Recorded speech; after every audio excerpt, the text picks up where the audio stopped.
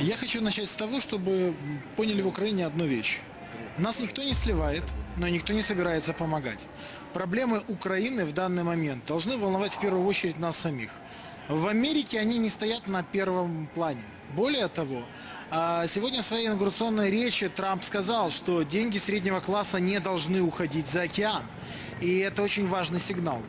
Э, Вчера в обсуждениях задавали очень много вопросов. Например, э, готова ли Украина выполнять свои обязательства?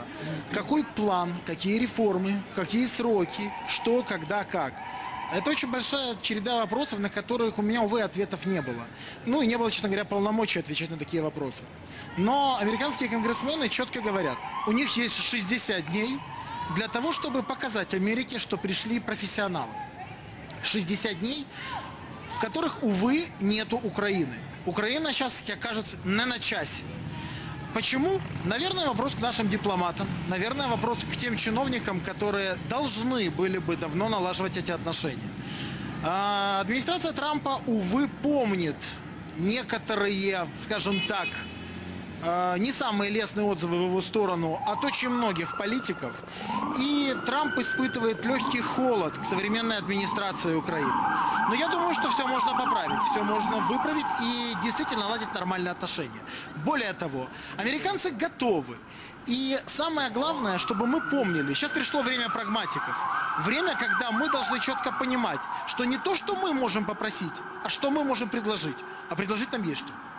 Борислав, ну не могу не задать вам э, и следующий вопрос. Он уже не столь важен, наверное, для Украины в плане геополитики, то есть вообще не важен.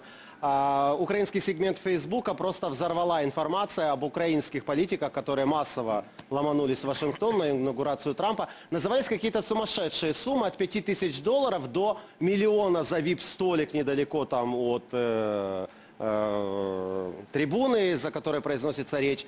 Э, Вам во сколько обошлась ваша поездка, если не секрет? Задумался. Моя поездка обошлась меня только в перелет, проживание в гостинице, больше ни копейки. Все остальное я получил в общем пакете.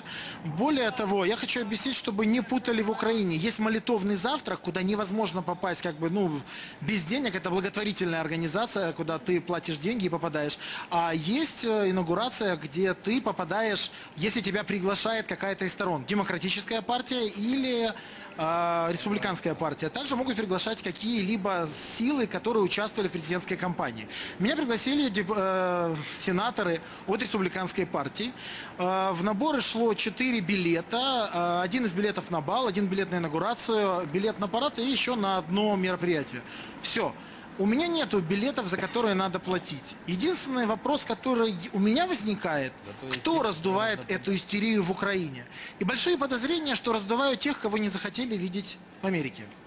Чаще Ну, всего это были возможно. те люди, которые громко заявляли, что мы э, летим, у нас есть приглашение, нас ждут, а в итоге выясняется, что никто не ждет, никто их тут не ищет, и них Понятно, нет. Борислав, спасибо. Давайте не приглашение, будем меряться приглашениями. Все-таки в наше эфирное время ограничено. Самое главное, что сказал Борислав, а, фраза, безусловно, очень важна фраза «Америка», да, я знаю, «Америка сливать нас не собирается».